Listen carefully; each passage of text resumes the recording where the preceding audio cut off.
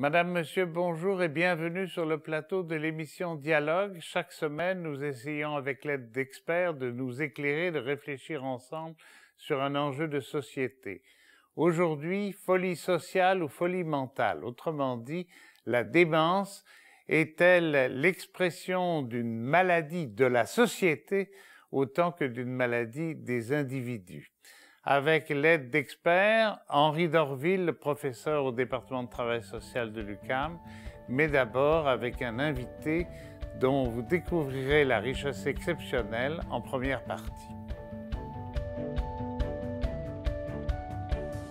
Professeur au département de sociologie de l'UCAM et chercheur, Marcelo Otero a finalement accepté notre invitation.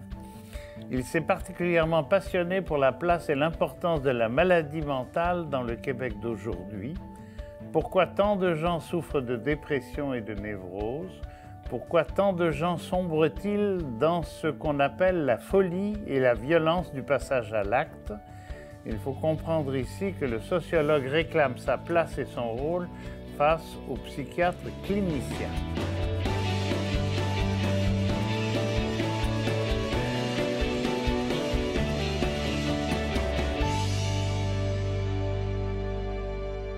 Alors bonjour Marcelo Otero et bienvenue à l'émission euh, où on a eu du mal à se rejoindre, mais finalement tout va très bien.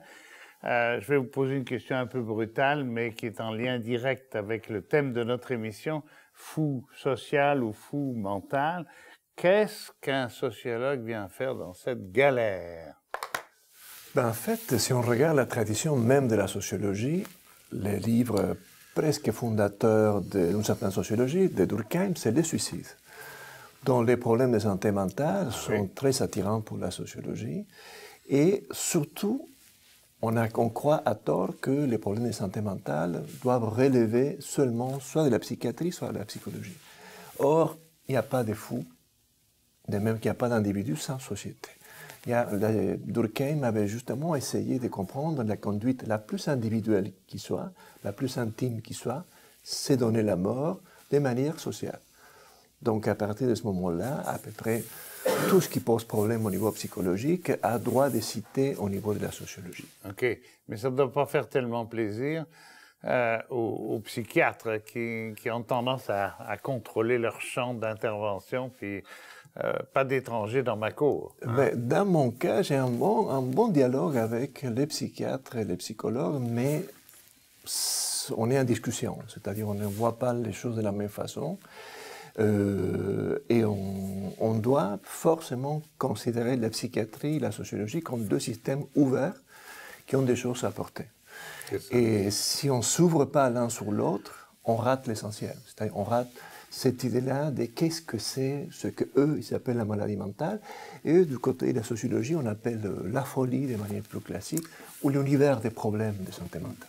Quand on, regarde, on en reparlera tout à l'heure, l'histoire de la folie à l'âge classique de Michel Foucault, on s'aperçoit grosso modo que euh, la première prise en charge de, de, de ces anormaux était le fait de la police, on peut dire, était le fait de la religion, qui à l'époque avait aussi un statut de contrôle des mœurs. Et puis, petit à petit, c'est passé au monde médical. C'est-à-dire qu'on a transformé ces délinquants irrationnels en malades. Qu'est-ce qui s'est passé? En fait, Foucault a une belle formule. Il dit, au moment où on commence à interner les fous, à les mettre dans un endroit fermé, la folie forme texte avec les problèmes de la cité. Une fois que les fous sont enfermés, une fois qu'on commence à les observer de manière collective, les uns avec les autres, on commence à moins les considérer comme des êtres fantastiques, comme des individus qui sont à côté d'une anthropologie moyenne. On commence à les comprendre en termes de problèmes au travail, problèmes d'intégration, certaines formes de violence ou de passage à l'acte, et on commence à les humaniser, mais en même temps, on commence à créer des discours sur eux pour lesquels eux, ils n'ont pas grand-chose à dire. On parle sur eux comme des objets et on commence à créer une discipline. La psychiatrie, la psychologie, plus tard la sociologie, mais on commence à perdre un petit peu cette idée fantastique. Les fous deviennent n'est pas fantastique, n'est plus fantastique. Il faut qu'on formule, il dit, euh, la psychiatrie, c'est le monologue, en quelque sorte, de la raison sur la folie. Les fous ne parlent plus, on parle sur lui et on parle de lui. C'est notre époque qui commence. C'est un objet, c'est pas un sujet. C'est un objet. C'est ça. Quand on regarde euh, maintenant la folie un peu plus loin, un peu vers le Moyen Âge, euh, on s'aperçoit, autant que je le sache, mais vous allez me confirmer ou m'infirmer, le fou, c'était quelqu'un qui avait du délire, mais qui avait une espèce de fonction de transmettre la parole de l'au-delà, les, messages des dieux. D'ailleurs, les, les, pas les vestales, là, je ne sais plus comment on les appelait, là, les prêtresses euh, dans la religion antique, on les rendait folles pour pouvoir euh, respirer les, les, humeurs et connaître à travers cette folie-là passagère les messages des dieux. Autrement dit, euh, c'était plutôt sympathique d'être fou, non? Ben, Il faudrait demander à ce fou-là, mais c'est ceux qui avaient une fonction non rationnelle, religieuse, fantastique. Mais c'est à partir du XVIIe, XVIIIe siècle, ce que Foucault va appeler l'âge classique, où la folie perd ces caractéristiques-là. Avant, la folie était un univers en soi. C'est-à-dire, il y avait une cosmologie qui appartenait à la folie. Mais il ne croisait pas forcément les mondes qui n'étaient pas fous. À partir du XVIIe, XVIIIe siècle, il y a un regard qui est purement négatif. C'est-à-dire, la folie, c'est un écart, c'est un certain nombre de comportements cognitifs, euh, imaginaires, euh, des comportements, etc., qu'il s'agit de ramener à la norme moyenne. Donc, dès que vous dites un comportement est pathologique, vous êtes en train de dire il faut le corriger. Donc, il y a une thérapeutique qui vient avec. Vous, plus, vous ne dites plus c'est un comportement différent, anormal, euh, c'est quelque chose qu'il faut régler. Donc la, la, folie entre en quelque sorte dans la médecine comme quelque chose qui on doit d'une manière ou d'une autre faire revenir à la norme de laquelle elle est sortie.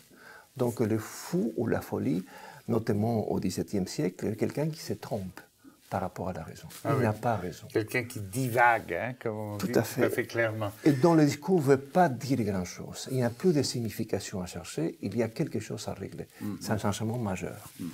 Alors, est-ce que, est -ce que je peux dire euh, que vous représentez la troisième vague. La, première vague, on en parlait dans l'Antiquité, l'ivresse poétique euh, et devineresse.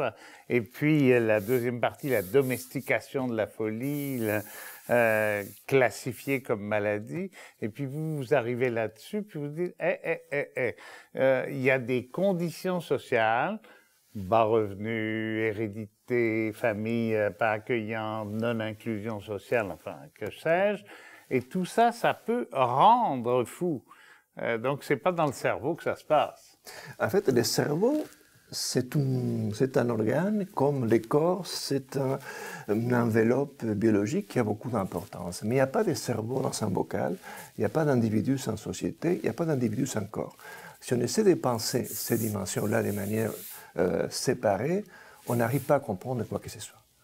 Donc les cerveaux, oui, à partir des années, fin des années 80, notamment 90, il y a les disciplines, tout ce qu'on appelle la neurosciences se développent de manière très forte. Ça donne beaucoup de vigueur à la psychiatrie euh, scientifique, à la neuropsychologie aussi. On commence à avoir un discours extrêmement fort sur le cerveau on dit presque que le cerveau, c'est les moi. Même le psychisme disparaît comme une consistance sur laquelle il faut se pencher trouver une signification. Le cerveau explique toi, explique tout. Moi, c'est mon cerveau. Et ça, c'est un discours qui est extrêmement positiviste d'un côté, mais qui arrache les individus de leur contexte. si vous regardez les origines de, la psychiatrie occidentale, euh, les psychiatres qui s'est formés, qu'on appelait les aliénistes autrefois, s'est formés sur les planchers des asiles, où on voyait un certain nombre de personnages très différents. Si on prend le cas du Québec, tout simplement, vous regardez qu'il y a Saint-Jean-des-Dieux, c'est-à-dire ce qui va être l'UH La Fontaine après, vous avez 5-6 000 résidents, et vous avez des gens qui, oui, il y a des problèmes de santé mentale, mais vous avez des gens qui sont des vagabonds, des gens qui sont des nains, vous avez des épileptiques, vous avez des, gens qui n'ont nulle part où aller. C'est la poubelle, quoi, finalement. C'est un peu ce que la société, d'une manière ou d'une autre, n'arrive pas à inclure. À prendre en charge. Quand on appelle de manière polie l'institutionnalisation des, fous, c'est une manière de dire la société ne, prend pas en charge un certain nombre de problèmes, et pas seulement des personnes, parce que ces personnes-là sont les résultats des problèmes très complexes qui n'ont nulle part où aller. Ils vont se retrouver dans des institutions de manière analogue à la, la manière dont un malade se trouve dans un hôpital. Or, ce n'est pas la même chose. Ce pas des gens qui ont des maladies ponctuelles, c'est des gens qui ont un certain nombre de problèmes dont la maladie mentale au sens strict n'est fait que c'est une petite partie, parfois pour un noyau très très minime de toute cette, population-là, très complexe, très hétérogène et très diversifiée. Vous avez des gens qui délirent, par exemple. Mais je vous donne un chiffre qui, peut vous donner une idée. Au Québec, on a un, un instrument juridique qu'on appelle la garde provisoire par laquelle quelqu'un peut demander à, faire passer quelqu'un un examen psychiatrique sans son consentement. Euh, c'est un peu ce qui va nous donner un petit peu les noyaux durs des, des, gens qu'on dit oh, ces gens-là sont fous en quelque sorte. Quand vous regardez, vous prenez une année à Montréal et vous regardez les dossiers de tous ces gens-là, vous n'avez que 12% de ces gens-là où il y a un délire fort, structuré, qui est le principal problème. Quand vous regardez les dossiers des autres personnes, vous avez des problèmes de toutes sortes. Vous avez la pauvreté, vous avez des problèmes relationnels, vous avez des trajectoires très compliquées de vie. Donc la folie, parfois, c'est une métaphore pour dire, voilà, cette personne-là a un paquet de problèmes très complexes, très hétérogènes, et on ne sait plus quoi faire. Et personne ne veut rien savoir de cette personne-là. Alors l'asile était très confortable pour dire, tout ça, on le met à l'asile. Une fois que l'asile ou la désinstitutionnalisation commence dans les années 60, on ouvre la porte de ces institutions, pas seulement au Québec, mais partout en Occident. Euh, ce qui arrive, c'est qu'on se rend compte que ce qu'on a fermé, ce n'était pas simplement des fous on enfermait tous les problèmes de la cité. Oui, des alcooliques, des instables. Des itinérants, des, filles mères qu'on appelait à l'époque, euh, des, gens qui étaient morphologiquement, euh, qui avaient des problèmes morphologiques, tous les gens, les, handicapés, toute une série de, des populations très complexes. Mhm. Autrement dit, on ne peut pas dire que le fou existe. Le fou, en tant que personne qui ont des problèmes de santé mentale, c'est une population empiriquement très complexe. Si j'ose dire, c'est une façon de parler, c'est une façon de nommer. Euh, et qui, qui, fait bien dans le portrait, mais qui est... Bon, euh, si je prends maintenant les 88% de gens qui ne sont pas des délirants ou des... Bon, et si je réglais un démiurge quelque part euh, ou une, masse de travailleurs sociaux et d'intervenants réglait leurs problèmes de logement, leur trouvait un travail, leur donnait, les incluait dans la vie culturelle, les valorisait sur le plan de leur personnalité même si celle-ci est fragile. Est-ce que ça réglerait le cas? Malheureusement non. C'est pour ça que c'est un objet qui est fantastique, qui est très complexe, qui est fascinant.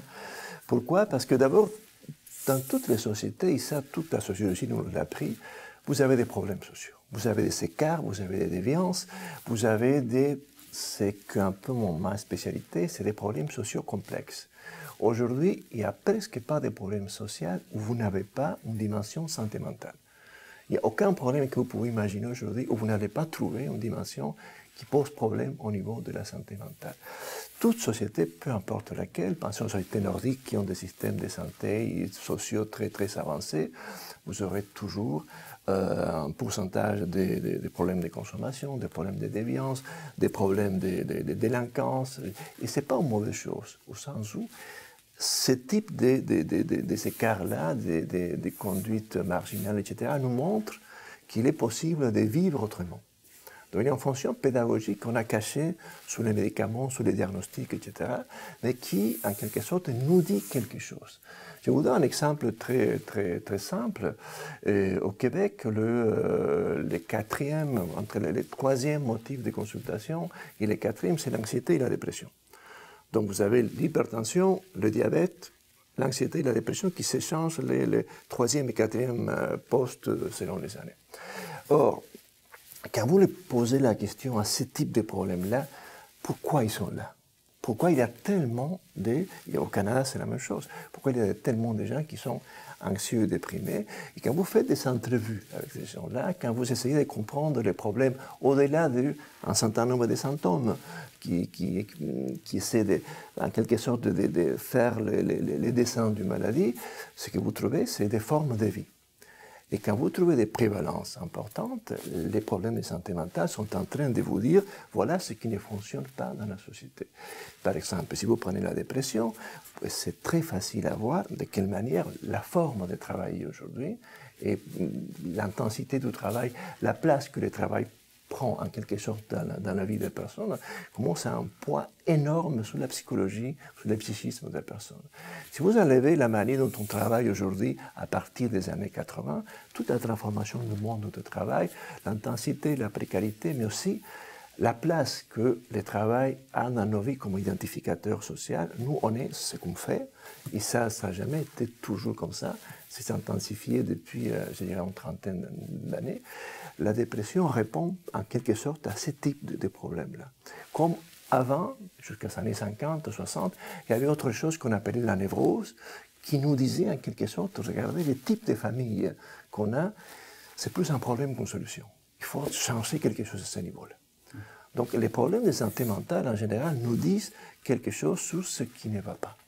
Ce n'est pas seulement des, erreurs à combler, ce n'est pas seulement des écarts. Mais donc, si, si euh, euh, le psychiatre euh, euh, recommande, ou le monde médical en, général, prenez donc tel médicament, tel Valium, je ne sais pas, je ne connais pas les pilules, c'est très inopérant. Finalement, c'est très partiel.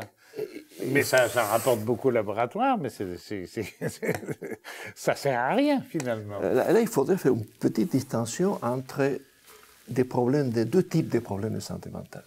D'abord, la première distinction à faire, c'est les problèmes somatiques ou les problèmes physiques ne sont pas exactement la même chose que les problèmes de santé mentale. Et dans l'univers des problèmes de santé mentale, vous avez deux types de problèmes. D'abord, c'est qu'on peut appeler les névroses génériques, c'est-à-dire les, les, troubles de santé mentale qui sont très répandus, même moins handicapants. Une dépression, une anxiété, ça peut toucher n'importe qui les, taux de prévalence sont très importants, entre 20 et 25% si vous mettez tout ça ensemble. Et de l'autre extrême, vous avez des, ce qu'on appelle les, psychoses euh, génériques, si vous voulez, ça va d'entre 1 ou 3% de la population. Là, c'est un autre type de problème, très handicapant, qui apparaissent très très vite euh, très, dans, la vie d'une personne. C'est deux problèmes qu'il faudrait séparer pour les analyser sociologiquement. Si vous prenez la dépression et l'anxiété, hein, c'est un problème largement de société à mon sens, euh, que j'ai beaucoup étudié, et, vous regardez les, ce qu'on fait, il y a une publicité euh, faite par le ministère de la Santé et des Services sociaux qui dit la, la dépression est comme le cancer, euh, consultez votre médecin. Mhm. Alors, les cycles fermés, il n'y a rien d'autre à dire. C'est-à-dire, si la dépression est une maladie comme les autres, ce qui est faux, il faut consulter votre médecin. Le médecin, qu'est-ce qu'il fait? À 90%, va vous donner un antidépresseur, qui c'est le traitement de choix. Alors, on regarde le Québec. Au Québec, euh, on prend, et au Canada aussi, on prend beaucoup d'antidépresseurs. Si vous prenez la moyenne de l'OCDE, c'est 56 euh, doses quotidiennes par 1000 habitants. Au Canada, c'est 86. Donc, on fait ce qu'on nous dit de faire. Si le problème était la tuberculose et on prend de la pénicilline, les taux de prévalence devraient diminuer. C'est ce qui arrive. Or, au Québec, on prend des antidépresseurs et la prévalence soit stabilise, soit remonte. Donc, il y a quelque chose qui ne fonctionne pas. Pourquoi? Parce que la dépression, ce n'est pas seulement un ensemble de symptômes. La dépression est un problème de santé mentale. Merci beaucoup. On va vous retrouver euh, tout à l'heure. Il faudrait une émission de trois heures, hein, mais euh, je pense que là, vous avez vraiment euh, dressé un, premier portrait.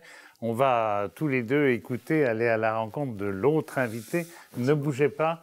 Henri Dorville va se rapprocher de nous pour la deuxième partie de l'émission. Bonjour, professeur Dorville. Bonjour. Henri Dorville enseigne la déviance sociale à l'UQAM. Il y est professeur et chercheur au département de travail social, ce qui n'est pas innocent. Il est à la fois anthropologue et sociologue, mais surtout intervenant social. ce qui donne à ses recherches et réflexions une originalité et une qualité, celle de l'ouverture, de l'appel à la tolérance et de l'inclusion sociale.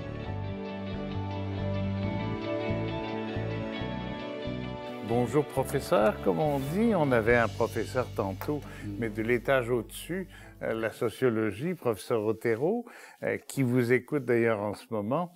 Euh, alors je vais commencer par une, une citation toute simple du professeur Otero.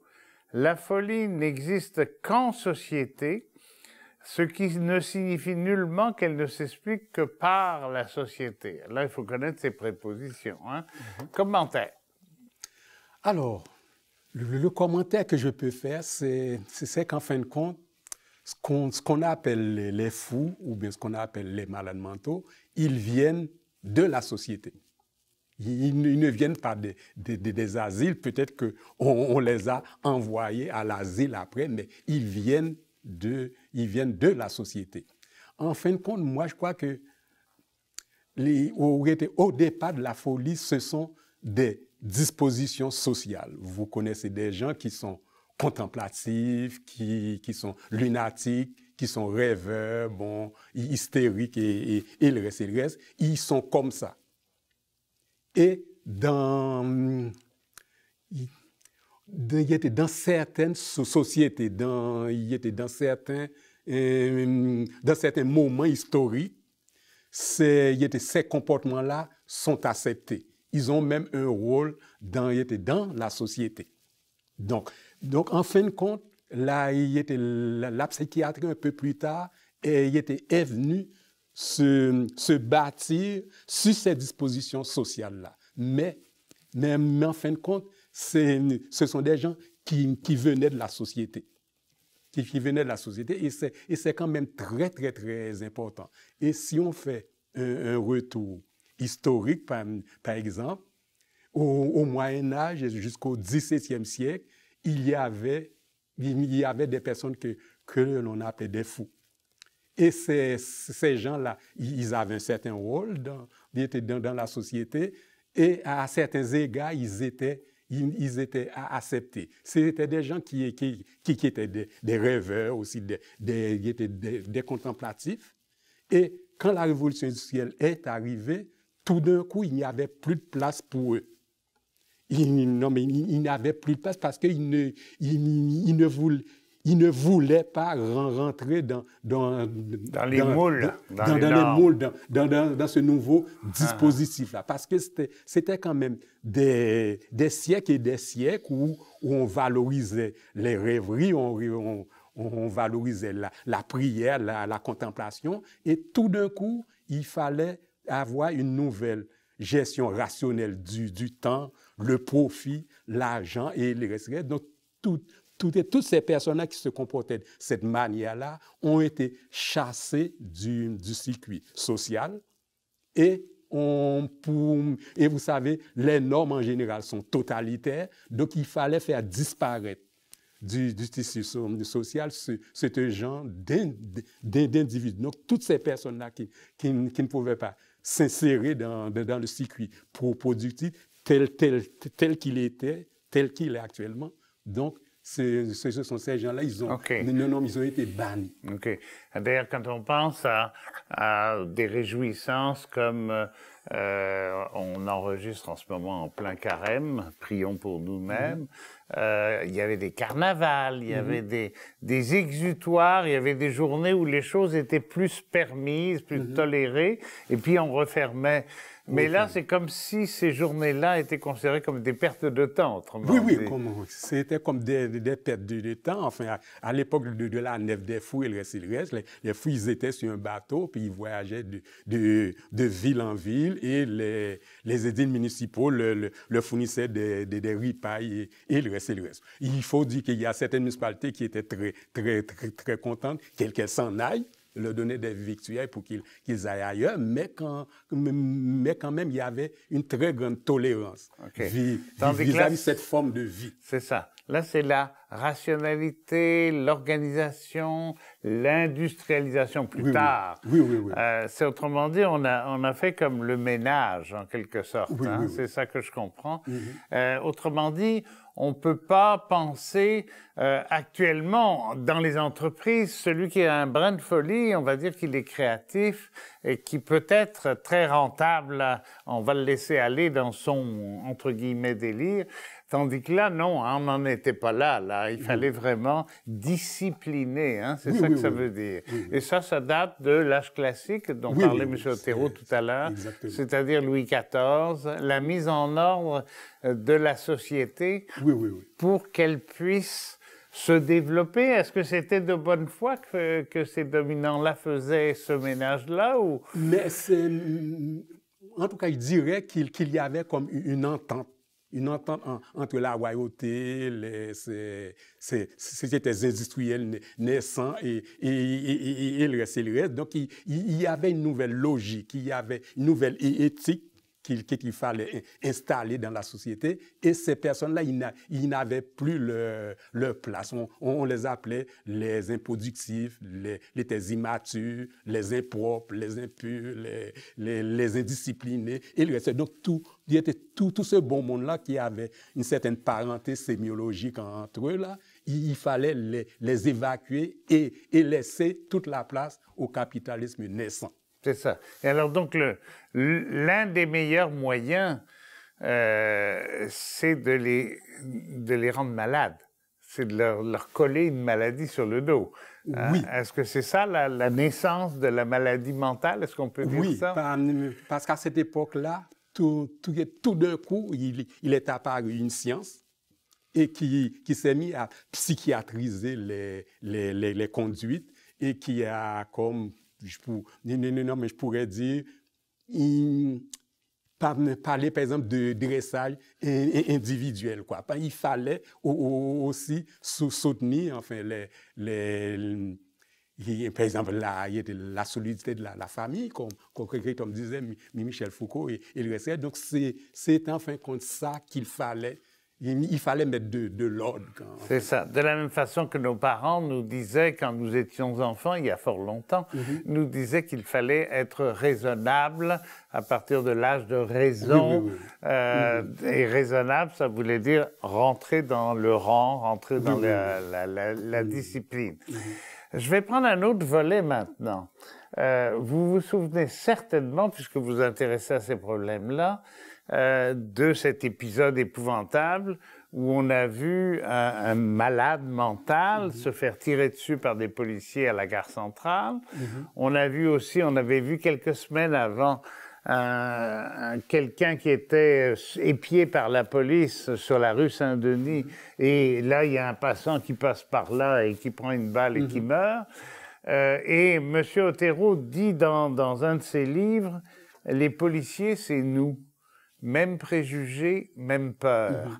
Pourquoi ça fait peur? On a compris tout à l'heure la fonction, j'allais dire, politique euh, euh, des programmes des gouvernements de l'époque, euh, de, de mise en, dans l'encasernement en quelque sorte. Euh, on, on perdait la fantaisie, mais là, c'est plus de la fantaisie, c'est la vie ou la mort. Pourquoi on a peur des fous? Enfin, des démons, des... Bon. Mais les, les, les fous, quand même, pré- pré- pré- présentent une image de la différence. Oui. Et on, on dirait, je crois que c'est Freud qui, qui, qui disait ça, pour être, pourquoi nous, nous, nous détestons tant ce qui n'est pas nous.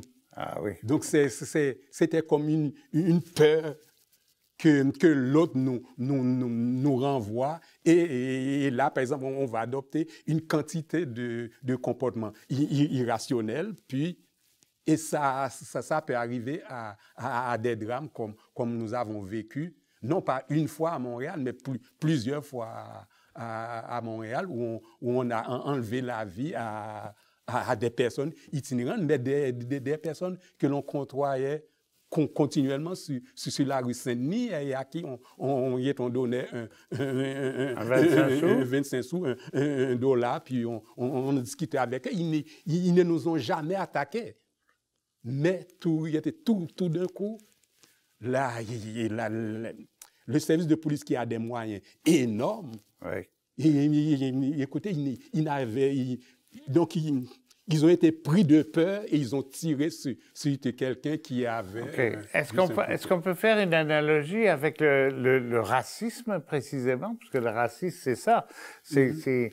c'est mettre du négatif parce qu'on ne reconnaît pas la différence de peau ou de culture, tout simplement. Est-ce que c'est ça? Ça va jusque-là? Mais ça, ça, ça peut aller ju- jusque-là, mais je dis- dirais qu'il qu'il ne faudrait pas faire trop d'a- trop d'amalgame. quoi. OK. Pas- pas- parce qu'en fin de compte, là, c'est, là, par exemple, c'est au- au- autre chose. Par exemple, là, on, on dit, par exemple, le, le- le terme race, on dit que ce n'est pas scientifique, on peut parler de groupes ra- racisés, mais il- le, le- le terme race, enfin, ça, ça, ça, ça- ça- n'a rien à voir à, à- avec la science en, en- en fin de compte, mais ce, ce sont les mêmes peurs, c'est la peur de l'autre. OK. C'est la peur de l'autre dans sa différence. Oui, oui, dans, finalement. sa différence. Et, et ça, ça remet en question notre, notre intégrité. Quoi.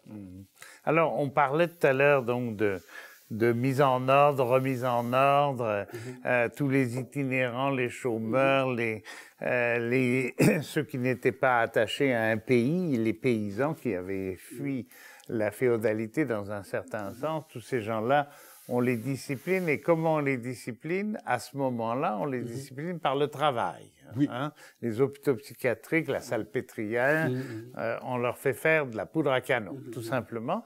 Mais aujourd'hui, c'est pas ça. Aujourd'hui, on leur donne un médicament. Oui, hein. oui on, on leur donne des, des- des- des médicaments. Mais ce qui, ce qui arrive, vous, vous voyez, a- actuellement, on dirait qu'il y a un, un- un nouveau visage de l'enfant de la folie. Vous, vous voyez, il y a, il il y a de cela quelques, quelques années, par exemple, il- non, mais on, utilisait le travail pour réinsérer les personnes schizophrènes, les, les, les- les- personnes qui ont, qui ont passé 20, 20 ans dans, dans, dans- les, les hôpitaux asiles, psychiatriques, oui. dans, dans les asiles, alors pour, pour les ré- réinsérer dans la société, pour, donc, donc là, on, on, on utilisait des, occupations thérapeutiques, on utilisait le travail. Oui, en Mais- atelier. Là, oui, oui, on en, dit. il était en atelier, comme, comme on dit actuellement. Mais là, actuellement, c'est une autre catégorie de, de enfin, de patients. Et de, de patients, vous savez, il y a, une quantité de personnes, ce, ce, ce sont des. Comment on dire ça ce sont des soignants. C'est comme, comme monsieur tout, tout le monde qui, qui prend un congé qui prend un congé de maladie à cause du stress du travail, à cause des techniques de, de management et le reste. Donc, et ce stress-là rend, les gens ma- ma- malades. Donc, ils, prennent un, congé, ils s'en vont. Vous voyez, donc c'est le milieu de travail qui, qui rend ces gens, ce, ce- ce- non, mais sont les travailleurs du, du, qui, ceux, ceux qui produisent du, du PIB, là, ce sont eux qui sont les nouveaux malades. OK. Ah, Alors qu'au- qu'autrefois, le, le, le travail était utilisé et l'occupation thérapeutique. OK. on- Alors, de la même façon, quand, quand, quand on a, on parlait de ça, de désinstitutionnalisation, avec euh, Otero tout à l'heure, on, on donnait aux gens ce qu'on appelait une camisole chimique. Euh, là, on donne une camisole chimique aux gens. Pourquoi? Pour qu'ils retournent au travail et soient bien, bien dociles, quoi. Oui, pour qu'ils soient bien par- parce qu'on savait que la, majorité des, des congés de, de travail actuellement, ce, ne sont plus des, des, des maux de dos. Ce sont actuellement les, les troubles mentaux courants, comme Ah. l'épuisement professionnel, les troubles anxieux, la réaction dé- dépressive. Donc, il- donc ça, ça doit nous dire quelque chose. Ça doit nous dire quelque chose. Il y a quelque chose qui, ne marche pas dans le monde du travail. Mm. Est-ce que ça voudrait dire euh, que, je fais une métaphore bien sûr, mais que le gouvernement devrait considérer que la prévention des maladies mentales, ça passe par le ministre du Travail? Ben, pre- presque, pa- parce que vous savez, ça, ça, coûte très cher aux, entreprises privées. Par exemple, Bell, il a Bell, Bell- Canada, ça, leur coûte énormément d'argent. Ils ont investi 5 millions de dollars pour, pour combattre la stigmatisation parce que quand, quand les employés ils reviennent au, au boulot, ils sont regardés, après le congé de maladie, ils sont regardés de haut par, par leurs collègues. Et on- vous savez, on, on- on ne fait plus confiance à leur jugement, même si ces, ces personnes-là, ils étaient, ils étaient employés de l'année, l'année précédente. C'est les nouveaux lépreux. Mais oui, et ils, ont, ils ont fait une réaction dépressive et, là, ils ne sont plus bons à rien.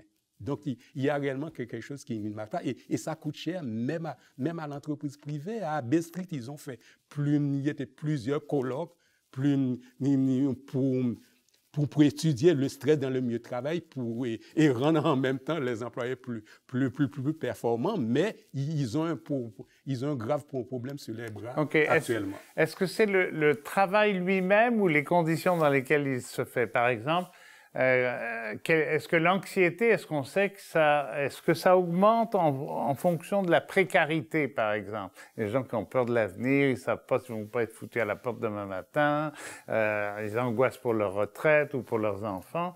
Euh, est-ce que c'est ça? Est-ce que l'anxiété est liée à la précarité du travail, par exemple? Moi, je sais qu'elle est liée aux, aux conditions de travail.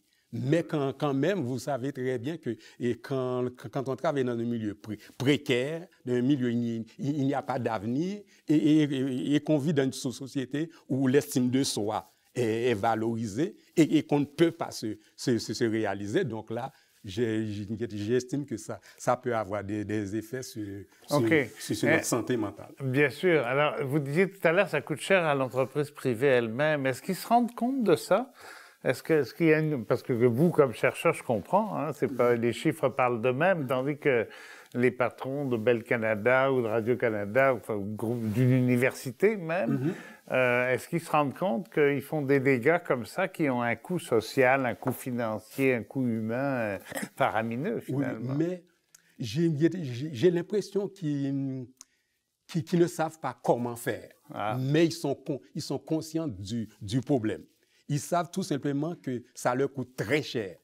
Mais ils ne savent pas. Ils sont impuissants. Qu'est-ce qu'ils doivent faire Ils sont, ils sont réellement impuissants parce que c'est, ils, étaient habitués à, à, financer les, travailleurs qui avaient des, des maux de dos. Mais lorsqu'on parle de santé mentale, des troubles mentaux courants, c'est beaucoup plus nébuleux et, nébuleux et ils ne savent pas, ils ne savent pas encore. OK. Alors, ben, sur ce, constat, merci beaucoup euh, de, pour cette deuxième partie. On va se diriger euh, à la rencontre de nouveau euh, du professeur Otero pour essayer de dégager une synthèse en termes de solutions, puis quelques questions un peu plus pointues. Merci beaucoup, professeur Dorville.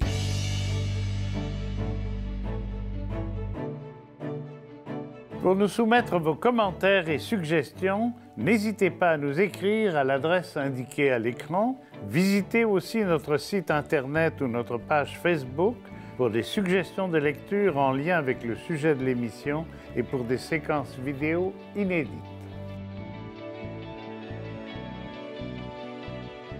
Folie mentale, folie sociale, merci de vous retrouver autour de la table maintenant pour euh, euh, essayer de faire une, synthèse.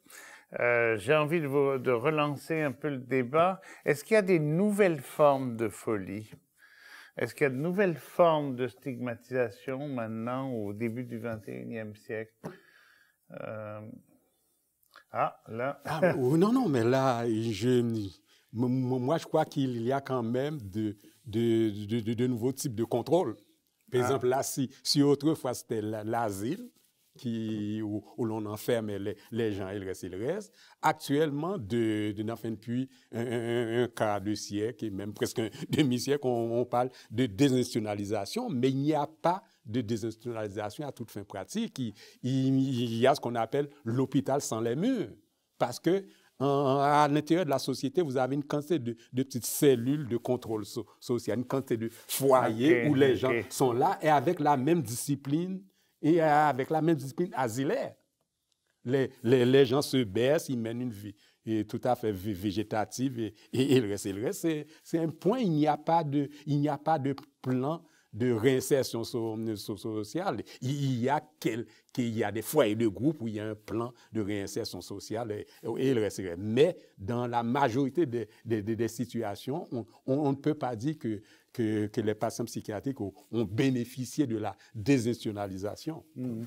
Même, euh, même sentiment? Ben, En fait, c'est qu'on peut faire l'exercice de voir les manuels de psychiatrie dans les années 50 et maintenant. Vous prenez les manuels statistiques euh, des, classifications des maladies mentales, DSM-1, publié en 52. Vous avez un petit bouquin de 120 pages avec une centaine de, catégories nosographiques. Si vous prenez le DSM-5, vous avez 1000 pages, vous avez quatre fois plus de problèmes de santé mentale. Est-ce qu'il y a une grande variété? Et la psychiatrie, c'est un univers qui est très mobile. C'est-à-dire, il y a des maladies qui rentrent, des maladies qui sortent. Ah ouais. Prenez l'homosexualité, elle n'est plus là. À ah partir des années euh, DSM-3, on parle d'homosexualité égodystonique, une manière de dire euh, on est en train de la, de la sortie du manuel, la prochaine édition elle va sortir. Il y en a d'autres qui rentrent, les stress post-traumatiques, par exemple, il apparaît, on voit que parmi, parmi les, les, les, vétérans de la guerre de Vietnam, on commence à revendiquer des soins pour des traumas de guerre. Donc, il y a des nouvelles, nouvelles, maladies qui rentrent dans la psychiatrie. Mm-hmm. Donc, la société change, les maladies mentales changent aussi. OK. Ça me fait penser au syndrome de la porte tournante dont vous avez déjà parlé. Oui, oui. Puis, euh, puis il faut parler aussi du, syndrome prémenstruel. Oui. Prémenstruel. Et, il y a des, des médicaments que l'on donne pour, pour, tout ça. Donc là, c'est critiqué de tout bord, particulièrement par, par, les féministes, mais dans, ça existe encore, le, le, diagnostic. OK. Alors, ça fait. Quand, quand j'ai décidé de faire, euh, de choisir ce thème pour l'émission Dialogue, j'avais une question lancinante dans ma tête et je me suis dit, ils vont me libérer de cette folie, bien entendu.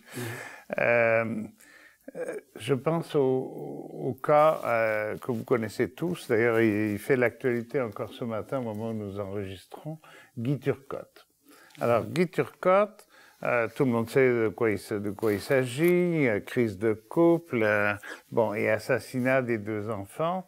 Alors, toujours cet éternel problème où on se dit où il est malade et donc il n'est pas responsable, où il n'est pas malade et il doit être puni et sanctionné. Où on en est maintenant, je ne parle pas de vos opinions personnelles, mais où on en est, où en est la, société d'aujourd'hui au Québec par rapport à ce dilemme qui est vraiment difficile euh, à, trancher? Dans ces cas particuliers, je pense que les choses sont malgré tout assez claires. C'est-à-dire, on ne peut pas dire que quelqu'un qui a un diagnostic, c'est un diagnostic, des troubles d'adaptation avec humeur dépressive, peut tuer qui que ce soit. Donc là, c'est une stratégie de la défense. Les frères Poupard, les, avocats de Guy Turcot, c'est des gens qui sont très brillants et très humanistes aussi à leur manière. Donc, il n'y a aucun psychiatre, ni au Québec, ni dans le monde, qui pense qu'avec un tel diagnostic, vous allez faire mal à qui que ce soit dans une stratégie de la défense. Et deuxièmement, il y a ce qu'on appelle une métaphorisation de la folie. On dit, si quelqu'un fait quelque chose qui nous semble horrible, intolérable, incompréhensible, le mot folie vient là pour nous aider. Mhm. Et pourtant, non. Il n'y avait rien dans ces cardiologues-là, il n'y avait pas d'antécédent psychiatrique, il y avait... Après coup, on peut inventer n'importe quoi. Une fois que quelqu'un fait euh, quelque chose de, très spectaculaire, on peut dire oui, c'est la manière de dire, en quelque sorte, c'est insupportable, c'est intolérable, et c'est une manière de dire, c'est pas moi. Mais il n'y a pas de diagnostic psychiatrique vraisemblable du tout. C'est un cas de droit, de droit pénal euh, simple. Donc, euh, et, on peut dire plus encore, on, ne, peut même pas, on ne peut même pas parler de, de, de l'abus d'abus flagrants de, de, l'article 16 du, du, Code pénal, comme quoi la, la, personne était sous l'effet de la folie et qu'elle et qui, et n'est pas responsable de, de, ces, actes-là. Mais, mais on dirait que et, et, la défense et, et les journalistes, ils, ils cherchent à agréger. À agréger les autres parce que vous, vous, savez, les, les, les, journaux aussi, pour, pour, pour vendre le, pour, vendre le, papier à pied, il n'y a rien de, de mieux qu'un fou à tuer sa femme. Même, même, si la personne n'a jamais eu de, diagnostic, rien, rien, rien, la, personne s'est toujours bien, bien, bien, bien, bien, bien comportée. Puis on, sait très bien que le, journaliste n'aurait pas pu vendre des, des, journaux avec un titre comme il était un diabétique à tuer sa femme parce qu'il n'y a aucun lien, mais c'est toujours la, la dangerosité qu'on veut mettre en, en, arrière des, des, des, patients psychiatres, alors qu'on sait très, très bien qu'ils sont, en général, c'est eux qui se font exploiter, qui se font. Enfin, ce sont les, normaux qui, qui, qui à toute fin pratique, enfin, sont... Alors, ça veut dire, je ne parle pas de, tellement de Turcotte, mais le fait de tuer mhm. ses enfants, c'est quand même... C'est terrible. Mhm. Euh, ça n'est pas une folie dans le cas précis. C'est une métaphore. C'est la, la folie, c'est, si vous comparez avec d'autres sociétés, c'est la manière culturelle d'appeler les crimes d'honneur. Mm-hmm. Dans d'autres cultures, on va dire, ah voilà, ma femme m'a trompé, mm-hmm. euh, m'a déshonoré, donc je, culturellement, j'ai, j'ai la tué, et ça fait du sens. Mm-hmm. Chez nous, ça ne fait pas de sens. Mais ce qui fait du sens, c'est de dire, vous êtes fou, donc ça explique n'importe quel comportement. Et quand vous regardez les dossiers, c'est un, riz, euh, tu ne me laisses pas mentir, c'est une polémique très, très, très, très délicate. Est-ce que les fous sont dangereux? Euh, ben, Dans les travaux que je fais, je pense qu'on peut, en quelque sorte, voir que c'est le contraire. C'est-à-dire, plus vous avez des maladies mentales graves, plus vous êtes vulnérable. Vous êtes, vous êtes victime même. oui, bien sûr. D'agression, mais on, on continue à nous faire croire que ce sont les personnes psychiatriques qui sont beaucoup plus dangereux, alors que ce n'est pas vrai. C'est le contraire et toutes les études l'ont prouvé. OK. Autrement dit, on est dans une société qui n'est pas capable d'inclure. C'est ça que ça veut dire. Qui n'arrive pas à, à la fois à tolérer la différence, enfin on pourrait reprendre tout ce qu'on a partagé depuis le début de cette émission, c'est un défaut d'inclusion d'une société, c'est ça? Et en même temps, si on regarde ça dans une perspective euh, des années 50 jusqu'à maintenant, on a inclus beaucoup de monde. Les personnes qui ont des handicaps, les, euh, les femmes qui ne pouvaient pas voter jusqu'à la Deuxième Guerre mondiale, les minorités ethniques. Et il y a toute une série de la société n'est pas quelque chose de, statique. Donc, euh, les grands problèmes qui ont les grands malades, les grandes personnes, les problèmes qui ont des, les gens qui ont des problèmes de santé mentale graves, c'est notamment aujourd'hui les problèmes du travail. Si dans une société comme la nôtre, vous n'êtes pas performant, vous n'existez pas, socialement parlant. Mhm. Et ça, les problèmes de la centralité du travail pour la valorisation sociale, valorisation sociale a pris une place tellement importante, et on le voit dans l'histoire de la folie, c'est-à-dire les, fous en général, leurs problèmes se déclinent par rapport à la capacité ou non de travailler. Mhm. Donc ça, ça pose un problème très important. Mhm. Quand on parle de la nef des fous, euh, on en parlait tout à l'heure, le début de l'histoire de la folie à l'âge classique, il y avait comme un mélange euh, de peur et de devoir à faire. C'est-à-dire qu'on les accueillait et euh, Foucault dit bien, c'est entre les, c'est sur le boulevard, c'est-à-dire mmh. l'espace ouvert entre les deux remparts. On les laissait pas rentrer au cœur de la ville, on les laissait pas choir sur le fleuve, on les mettait dans un terrain neutre finalement. Est-ce que ça serait ça? euh, Est-ce que ça serait une voie de solution, par exemple, plutôt que de les séparer complètement, de les enfermer euh, dans des asiles ou des structures institutionnelles, peu importe, ou dans une camisole chimique? Qu'est-ce que ça serait ce terrain neutre qui permettrait à la parole des fous de s'exprimer et de se diffuser et de se tolérer en même temps? Mais en fait, il y, a, il y a deux problèmes qu'il faudrait séparer. D'abord, il y a la question de la souffrance. Si vous souffrez à cause de vos problèmes de santé mentale, il faut faire quelque chose. On ne peut pas fermer les yeux. D'un autre côté, aujourd'hui, il y a un certain nombre de souffrances et de dysfonctionnements, pas tous, qui sont de plus en plus tolérés. Par exemple, j'ai une fille de 11 ans qui va à l'école, elle sait, parce que dans, son école, dans, sa classe, il y a beaucoup de mixité, et qu'est-ce que c'est un syndrome de la tourette, qu'est-ce que c'est l'hyperactivité, qu'est-ce que c'est... Bon, donc il a déjà une certaine éducation et une certaine tolérance qui va avec. Je ne suis pas à l'aise avec les étiquettes, c'est-à-dire euh, la tourette, ça c'est un autre problème. Mais au moins, avec un comportement différent, c'est-à-dire les enfants sont de plus en plus préparés à une tolérance un peu plus grande que les gens de notre âge. ce qu'on peut dire aussi, le, couloir qu'on essaie de, de, laisser au fou, mais on, dirait aussi que, que, la société a, a, peur de cet débordement. Donc, vous, voyez, donc à chaque fois qu'il essaie de, te libérer, il, il, maintient, il, renforce les, les balises en même temps. Mhm.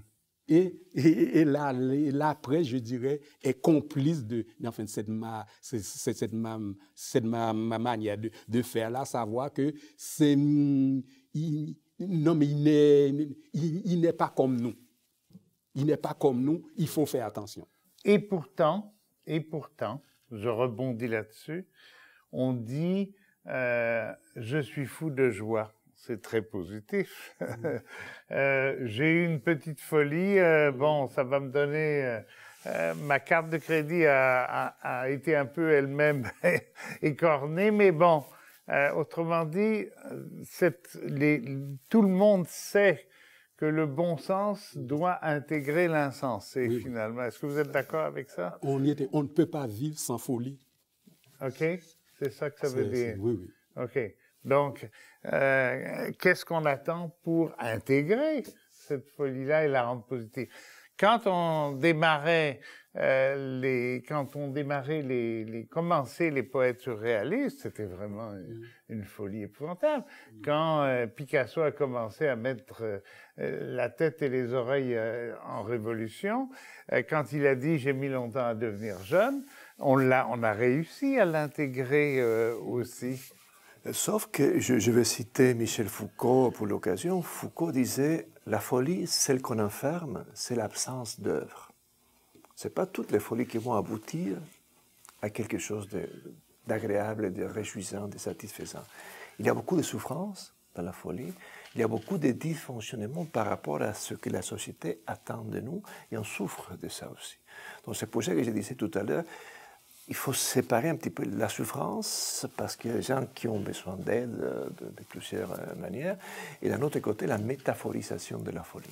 Ah, les génies, le débordement, la déviance au sens de la création, qui c'est absolument indispensable. Mhm. Euh, les poètes, les artistes, ça, ils ne sont pas des gens conformistes. Si vous avez une société qui est seulement travaillée par des conformistes, c'est ennuyeux.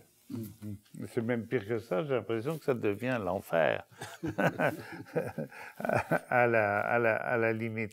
Euh, ben écoutez, euh, j'ai envie de, de, euh, de, également de parler de, euh, pour terminer, sur la difficulté qu'on a à traiter, traiter, et en particulier euh, vous parliez de la douleur. Hein? Euh, par expérience, dans mon entourage, il y a des gens qui sont dans des cliniques de la douleur. Et mhm. qu'est-ce que c'est les cliniques de la douleur?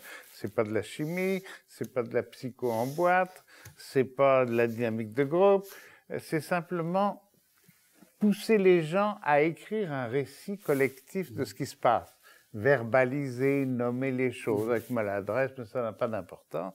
Et ce traitement, comme on dit traiter une information, est-ce que ça serait pas euh, une voie de solution là aussi par rapport à la médecine traditionnelle qui était punitive et qui maintenant est curative, mais à travers des pilules et des choses comme ça? Est-ce que ça serait pas donner la parole à ceux qui finalement sont souvent interdits de parole, mm. sauf dans la presse en sensation, mm. par exemple? Mais moi, je crois que la, la prise de parole, c'est quand même le, le, le, premier pas vers la, vers la guérison, si je peux m'exprimer ainsi, mais, mais c'est le premier pas vers, vers, la citoyenneté aussi. Mm-hmm. Parce que la, la, la, personne se, se sent membre d'une société donnée, il s'exprime. Donc, moi, moi il, il, dit je, je, suis, je vis dans, dans cette société-là. Moi, moi, je crois que ça, ça, ça, ça lui donne un, certain pour, pour, pour, pouvoir sur lui, enfin, sur, sur, sur, son entourage. Moi, moi, moi, je crois réellement que, que c'est quand même le, le, le, premier pas. Souvenez-vous qu'autrefois, il y a de cela une cinquantaine d'années, la, la parole du fou était nul et non avenu. Alors qu'actuellement, à chaque fois que le gouvernement du Québec ou euh, les autres gouvernements provinciaux veulent, passer une loi sur, la santé mentale, sur un aspect ou l'autre de la santé mentale, ils font venir ces, patients psychiatriques là, c'est fou pour, pour tout qu'ils s'expriment. Moi, je trouve que c'est déjà une avancée. OK. Autrement dit, il faudrait euh, pas ressusciter Charcot, mais enfin avant Charcot, comment s'appelait ce, ce, psychiatre révolutionnaire et avant la lettre qui a libéré les fous de leur Pinel. Pinel. Pinel. Euh, bon, c'est un déchaînement hein, qu'il faudrait euh, opérer. Quoi. Je dirais plutôt une démédicalisation, c'est-à-dire aujourd'hui, encore aujourd'hui, c'est les médecins qui parlent à la place du fou. Ah, toujours. Euh, et ça, c'est un problème. Alors écoutez, ben, merci beaucoup. Euh, j'en profite pour euh, une, une, très courte bibliographie. mon principe, c'est de sortir de ma bibliothèque des livres que j'ai lus. Euh, et jusqu'à la dernière page, parce que des fois, on achète des livres, on, on regrette. Sauf un que vous m'avez amené tout à l'heure, professeur Dorville, Henri Dorville, Laurie Kirouac, Gilles Dupuis, Les troubles mentaux au milieu de travail, on en a parlé, et dans les médias de masse, vous voulez dire le traitement médiatique, je suppose, aux presses de l'Université du Québec. Je continue. Monsieur, Monsieur Dorville, toujours. Hein, ça travaille, un professeur d'université. Histoire de la folie dans la communauté de l'Annonciation à Montréal, 1962-1987, donc 25 ans de traitement social, avec en particulier la nef des, fous, euh, sur la couverture, dont on a parlé tout à l'heure. Monsieur Otero avait publié, il y a quelques temps maintenant, 3-4 ans je pense, euh, L'ombre portée, l'individualité à l'épreuve de la dépression très intéressant chez Boréal, très bon éditeur, hein. euh, malgré le mal que j'en ai dit tantôt en aparté. Et deuxième livre que vous venez de sortir, donc Les fous dans la cité, d'où l'émission d'aujourd'hui, Sociologie de la folie contemporaine, euh, chez Boréal également. J'ai sorti ça parce que c'est un bouquin qui m'avait vraiment frappé, Idéologie et folie, Thomas Saz, euh, qui est un psychiatre, je pense qu'il est mort, qui était un psychiatre américain, new-yorkais, je pense. Euh, idéologie et folie. Euh, on en a parlé, mais si ça vous intéresse de penser, de réfléchir là-dessus, évidemment, un grand classique, on en a parlé plusieurs fois l'un et l'autre, Michel Foucault, Histoire de la folie à l'âge classique. Ce que je trouve très intéressant en plus, c'est que c'est superbement écrit. Alors ça, moi, ça me parle beaucoup. Histoire de la folie, c'est dans une édition euh, de poche courante chez Gallimard. Et puis euh, le dernier en date, qui est un type euh, que j'aime maintenant citer parce que je trouve qu'il féconde beaucoup le débat social. Bernard Stiegler, Aimer, s'aimer, nous aimer, du 11 septembre au 21 avril. Euh, et il parle notamment, lui, de, de, ces fous que sont les terroristes, les fous de Dieu, les radicaux, comme on dit, aux éditions Galilée. Alors à tous ceux et celles qui nous ont écoutés pendant l'heure qui vient de se passer sur le thème de la folie dans la société, merci de votre confiance, merci de nous avoir accompagnés. On a essayé de faire le maximum euh, pour nous faire réfléchir ensemble sur un enjeu de culture et de société. Merci à vous deux aussi euh, pour votre rapport euh, important et éminent que j'ai signalé dans la bibliographie, mais aussi dans les propos qu'on a partagés ensemble. Euh, je vous donne rendez-vous sur le canal de l'émission, enfin, si l'on peut dire, le, sur la toile, euh, le site de l'émission Dialogue au canal Savoir. Euh, vous tapez ça sur Internet et ça, sort très facilement, même moi j'y arrive. Euh, et le site du canal communautaire la page Facebook parce que nous allons prolonger ce, euh, ce dialogue pendant 10 minutes complémentaires à votre intention. Merci beaucoup et à la semaine prochaine pour un nouvel enjeu de société.